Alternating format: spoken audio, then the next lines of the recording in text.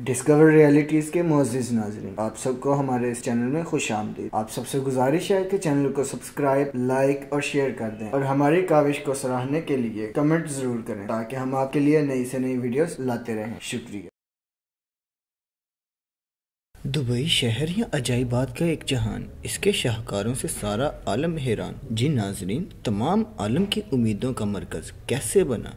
क्यों बना? इस सब का ज़िक्र होगा हमारी आज की इस वीडियो में। तो चलें शुरू करते हैं। कहने को तो ये है एक झूला, लेकिन असल में ये भी दुनिया का एक अजूबा। जी जनाब, दुबई के थीम पार्क में लगाया जाने वाला दुनिया का बुलंद तरीन झूला भी सियाहों के लिए एक हैरत अंगेज चीज़ है। इस झूले की ऊंचाई 460 फुट है। झूले में बैठने वाले थीम पार्क का फजाई नज़ारा कर सकते हैं और ऊँची उड़ान का मज़ा ले सकते हैं। यानी झूला कम और हवाई जहाज़ की सैर ज़्यादा लगती है। इस झूले में 421 टन स्टील इस्तेमाल किया गया। इसे बनाने में 600 दिन लगे, जबकि इसे नस्ब करने में तकरीबन तीन माह का अरसा लगा। ये झूला सिर्फ़ एक रिकॉर्ड है। थीम पार्क की इंतजामिया पर उम्मीद है कि पार्क अभी मजीद आलमी रिकॉर्ड बनाएगा। थीम पार्क का ज़िक्र हुआ तो चलें ये भी सुन लें कि दुनिया के सबसे बड़े इंडो थीम पार्क का एजाज भी दुबई के पास है, जो पंद्रह लाख स्क्वेयर फुट पर फैला हुआ है। इसकी तमीर पर एक अरब डॉलर, पाकिस्तानी एक खरब रुपए खर्च किए गए। ये थीम पार्क इतना बड़ा है की इसके अंदर 28 रग्बी के मैदान समा सकते हैं, जिसे I M G world of adventure का नाम दिया गया है। इस पार्क के अंदर बेहतरीन किस्म की बाइस, राइड्स और दूसरे झूले मौजूद हैं। और रोलर कोस्टर की तो बात ही अलग है, जो सियाहों को थीम पार्क की सैर कराती है।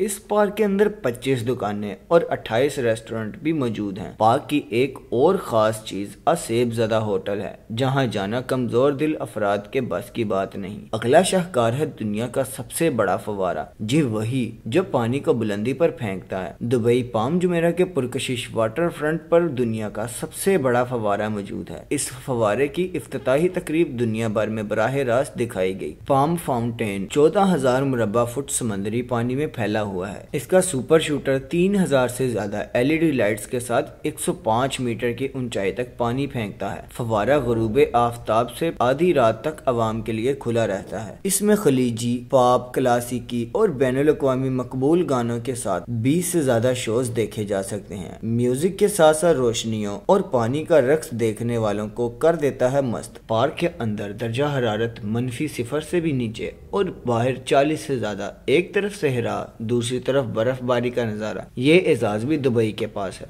दुनिया का सबसे बड़ा इंडोर स्नो पार्क ऐसी जगह बनाया गया जहाँ पहले रेगिस्तान होता था। लेकिन अब यहाँ साल भर मसनू बर्फ़ जमा रहती है। बर्फ़ से भरा हुआ ये पार्क फुटबॉल के तीन मैदानों के बराबर है। स्केटिंग का खेल जो पहले पहले सिर्फ़ बर्फीले मुल्कों में खेला जा सकता था, अब इस पार्क में भी खेला जा सकता। है इसके लिए लगभग 25 मंजिला ऊँची इमारत से नीचे बर्फीले रास्ते बनाए गए हैं। अब तक दुबई अपने गर्म और खुशनुमा साहिल के लिए सियाहों में मकबूल रहा है, लेकिन अब यहाँ गर्मियों में भी इस पार्क में सर्दी का मज़ा लिया जा सकेगा। और अब ज़िक्र है उसका, जो है दुबई की सबसे बड़ी पहचान, आसमान की बुलंदियों को छूने वाली इमारत, बुर्ज खलीफा। ये इमारत एम्पायर स्टेट बिल्डिंग से दो दो गुनी जबकि पेरिस के आइफल टावर से तीन गुना ऊँची है। दुनिया भर से लोग इस इमारत को देखने के लिए आते हैं। सबकी तवज्जो का मरकज बनने वाली ये इमारत पुरतईश अरमानी होटल, रिहायशी यूनिट्स और रेस्टोरेंट पर मुश्तमिल है, जिसकी एक सौ अड़तालीसवीं मंजिल से पूरे दुबई का नज़ारा भी किया जा सकता है। इसकी तमीर की बात करें तो इसे बनाने के लिए तीन लाख तीस हज़ार क्यूबिक मीटर कंक्रीट, पंद्रह हज़ार पाँच सौ स्क्वायर मीटर का बेहतरीन किस्म का स्टील, जो कि उनतालीस हज़ार टन वजनी है, इस्तेमाल किया गया है। और इसके अलावा दस लाख तीन हज़ार स्क्वेयर मीटर का शीशा इस्तेमाल हुआ है। यहाँ लगे एलिवेटर यानी लिफ्ट की रफ्तार दस मीटर फ़ी सेकेंड है। यानी अगर कोई शख्स एलिवेटर के ज़रिए ग्राउंड फ्लोर से एक फ्लोर पर जाएगा तो इसे यहाँ तक जाने में सिर्फ़ एक मिनट लगेगा। बुर्ज खलीफा, दुनिया की बुलंद तरीन इमारत का रिकॉर्ड अपने नाम करने के अलावा मजीद छह आलमी रिकॉर्ड भी हासिल कर चुकी है, जिसमें दुनिया के सबसे ज़्यादा फ्लोर वाली इमारत के साथ दुनिया की तेज़ तरीन रफ्तार एलिवेटर जैसे मुतद रिकॉर्ड शामिल हैं। इसीलिए ये हॉलीवुड की फ़िल्म बंदी के लिए भी फेवरेट जगह है। तो फिर कैसी लगी आपको दुबई की ये सैर? हमें ज़रूर बताइएगा। शुक्रिया।